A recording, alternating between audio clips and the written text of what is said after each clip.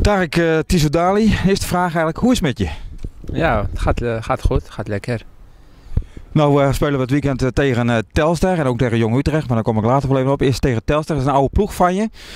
doet dat toch nog wat voor je? Ja, het is natuurlijk altijd speciaal als je tegen je, oude, je oude clubje speelt. Vooral het is nu nog vers, het is niet echt lang geleden of zo. En, ja, het is gewoon eigenlijk alleen wat anders dan andere wedstrijden, maar voor de rest gaan we gewoon dezelfde focus de wedstrijd op. Je bent van uh, Telstra naar uh, Le Havre gegaan hè? en halverwege het seizoen ben je bij Cambuur gekomen. Heb je al iets gehoord van Le Havre, wat Le Havre van plan is met je na de zomerstop? Nee, nog niet. Ik heb uh, wel een mail gekregen van wanneer ik ongeveer moet, wanneer ik moet beginnen. En ja, dan, wordt er weer, dan gaat we weer voorbereiding meedoen daar in Frankrijk. Dan, wordt, dan moet ik me weer in de kijker spelen of, of weer iets anders bekijken iets anders bekijken, zeg je. Misschien is, is dan Cambuur eventueel ook weer een optie. Want volgens mij lig je wel aardig uh, lekker in de groep. Ik bedoel, je scoort op het leven. Uh, ja, je bent goed bezig. Ja, Cambuur zeker. Uh, vooral het is natuurlijk altijd lekkerder als je, als je langer bij een, bij een team speelt. Dus stel je voor, ja, ja, als je weer verhuurd mo moet worden. Dan dat je bij Cambuur al thuis voelt. Dat zou natuurlijk beter zijn dan weer echt anders. Weer beginnen, weer wennen aan iedereen en alles erop en eraan. Nou goed, nu is het uh, Telstar, daar was je vorig jaar uh, topscorer.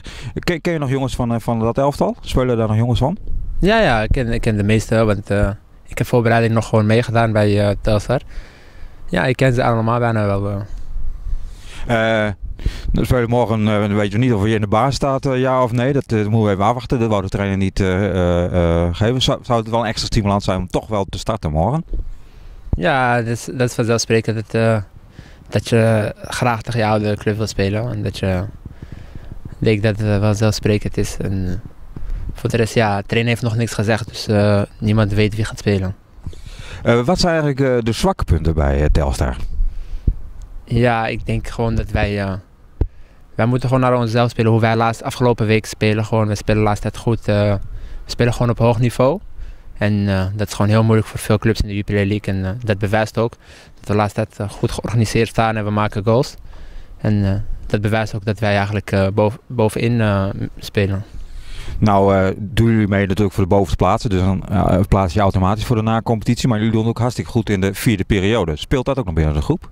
Ja, dat is, dat is eigenlijk ook wel ja, niet echt waar we echt naar kijken. Maar we kijken gewoon naar hoe we nu gewoon afgelopen week spelen. Spelen we gewoon uitstekend en we geven weinig weg. We creëren veel kansen. En trainen we gewoon eigenlijk. De belangrijkste is play-offs. En als je periode mee kan pakken, dat is altijd uh, lekkerder, ja.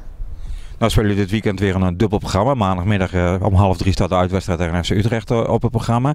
Is dat ook zwaar voor een profvoetballer? Mensen onderschatten denk ik dat wel eens. Ja, een voetballer wil altijd wedstrijden spelen. Dus uh, ja, ik hoop dat we gewoon uh, morgen gelijk, eerste kwartier, 20 minuten gelijk uh, stempel kunnen zetten. Zodat we de wedstrijd kunnen domineren. En, ja, en dan ben je minder moe dan als de hele tijd 0-0 staat en wachten tot de slotfase.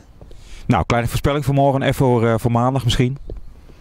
Ja, ik denk een 4-0 of 3-0.